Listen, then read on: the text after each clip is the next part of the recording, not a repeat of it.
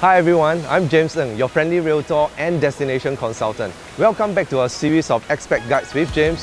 Today, we're going to share with you some communities that expats frequent and our first stop here is Singapore Botanic Garden.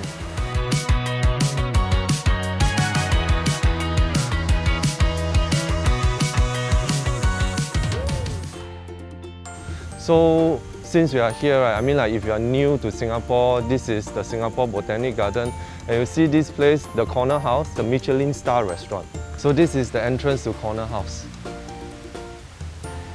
So do you know, back in the 1960s, our founding father, Mr. Lee Kuan Yew, he started the tree planting and the Garden City campaign.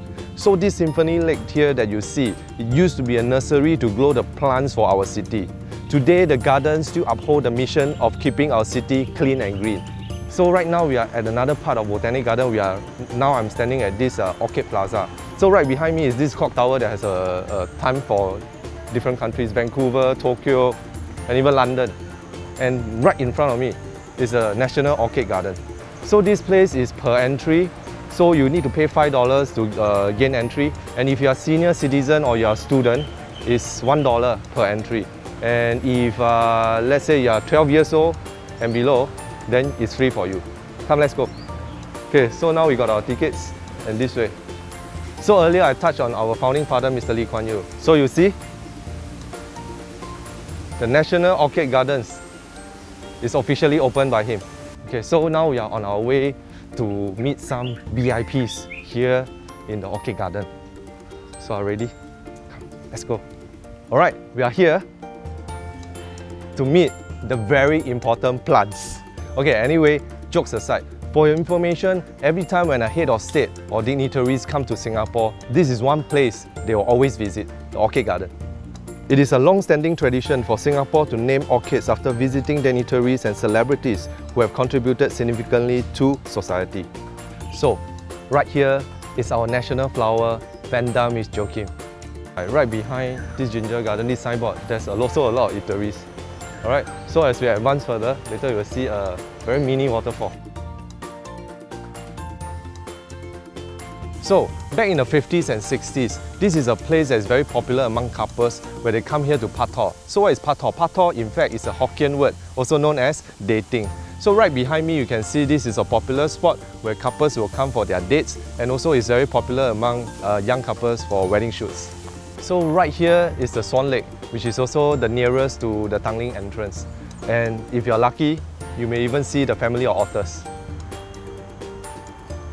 So we are done touring one of the UNESCO heritage sites, the Singapore Botanic Garden. It is open every day, so if you are a nature lover, do check it out. So now we are at the Robertson Quay area and right behind me is M Social. Okay, it's designed by the French designer Philippe Starck. So now we are right here outside at the uh, walkway and you can see beside me is actually M Social, a boutique hotel. And here, this is a very popular uh, eatery or even a chill-out place, Beast and Butterflies. On, the, on my other side is actually Rivergate. So this place is also popular among expats. I mean like everyone want to have a piece of this because they are living at very close to this Robertson Quay area with all the eateries and amenities. So now as we are walking along this uh, riverbank of Singapore River, this path will actually take us to uh, Robertson Quay, Clarke Quay, Boat Quay, and from Boat Quay actually lead to Fullerton, uh, Fullerton Hotel. So Fullerton Hotel, there's an underpass where we can use to cross over to uh, Fullerton Bay Hotel, and that's where we get to see the Merlion.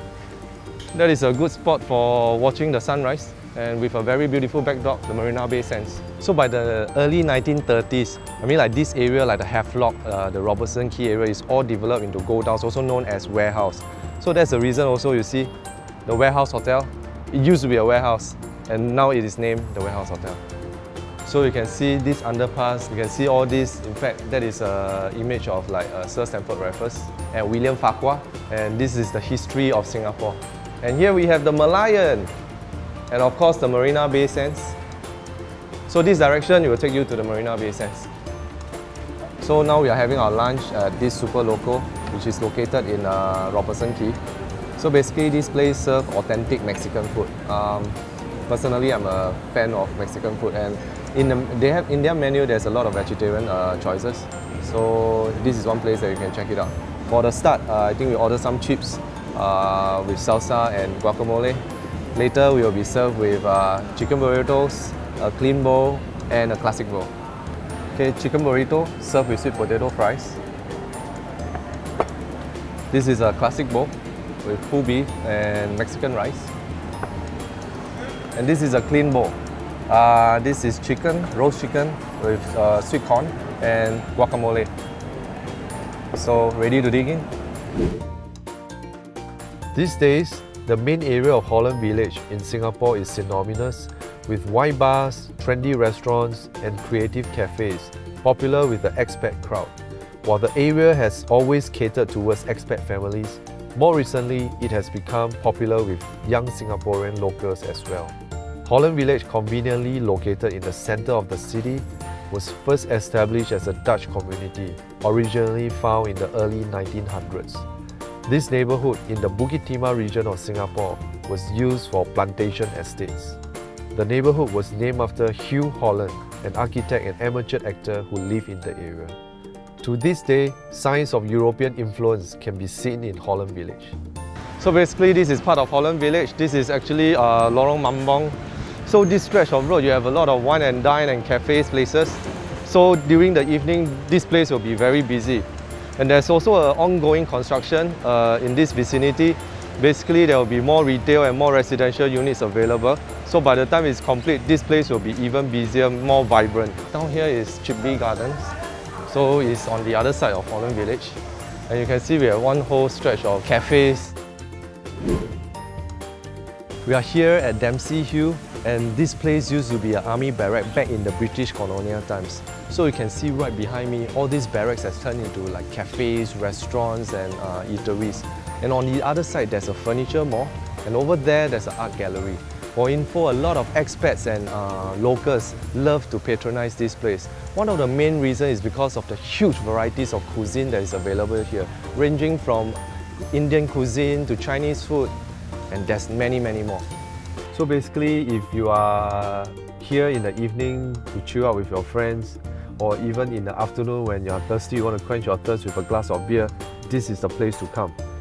They serve dim sum at Chopsuey Cafe and other choices of food will be like Epicurean food, European cuisine, you will still find it here.